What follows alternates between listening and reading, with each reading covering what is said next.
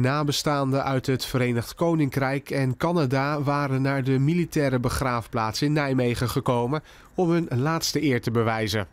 79 jaar na de crash krijgen de zeven bemanningsleden hun laatste rustplaats. Today we remember with thanksgiving these brave men whom, alongside so many others, answered the call of their country, served with honour, and gave their lives in the service of their nations. Hoewel er vijf Britten en twee Canadezen aan boord waren, is er bij de begrafenis maar één kist. We were unable to individually identify the crew members. Uh, it's a very sad fact that when a plane crashes, um, remains can be scattered far and wide.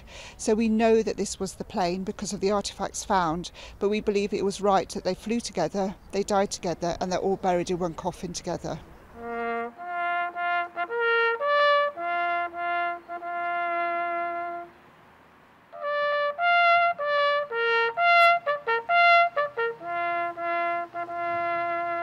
Earth to earth, dust to dust, ashes to ashes, in the sure and certain hope of the resurrection to eternal life through Jesus Christ our Lord.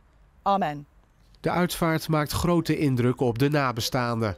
De afgelopen twee jaar sinds het begin van de berging is er voor hen veel gebeurd. Just they were unfortunate. A lot of them came home and the crew of 716 were just unlucky in the wrong place at the wrong time. The funeral means everything to us. It's had a huge impact on our family, and now knowing our uncle is finally laid to rest is absolutely wonderful.